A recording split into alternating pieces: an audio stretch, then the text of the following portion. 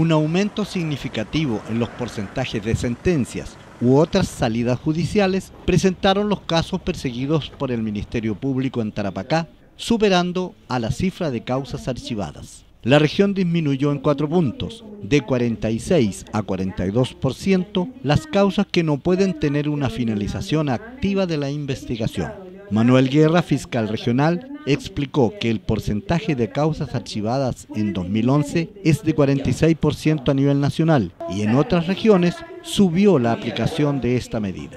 Se elevaron por ende otro tipo de salida de mejor calidad, sentencias definitivas condenatorias, eh, salida alternativa como la suspensión condicional del procedimiento, que aumentaron sobre un 10% en el caso de las sentencias y sobre un 72% en el caso de las suspensiones condicionales y eso obviamente a nosotros nos deja eh, más tranquilo que quizás en otras zonas donde hubo un aumento del archivo provisional y una disminución de la sentencia.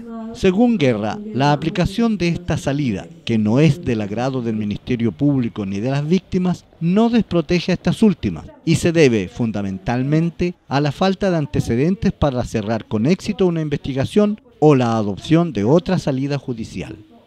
El archivo provisional es una decisión que se adopta por el fiscal cuando no existen en la causa antecedentes que permitan eh, propiciar el enjuiciamiento. Es decir, eh, llega la denuncia, se hacen ciertas averiguaciones, pero no hay antecedentes que permitan conducir al esclarecimiento de los hechos.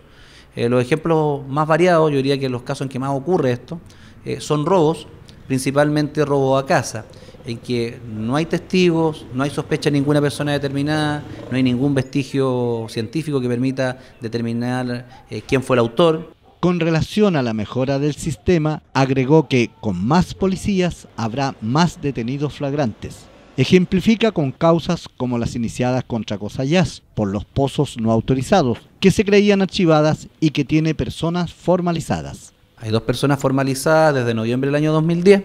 La investigación está abierta se han seguido desarrollando diligencias para ver en definitiva si solamente esas personas van a ser objeto de enjuiciamiento o vamos a formalizar más personas, pero ahí no hay ni archivo ni nada, y por el contrario se ha avanzado bastante, la causa está formalizada, hay personas que están con medidas cautelares y en su momento van a tener que llegar a juicio respecto de ellas.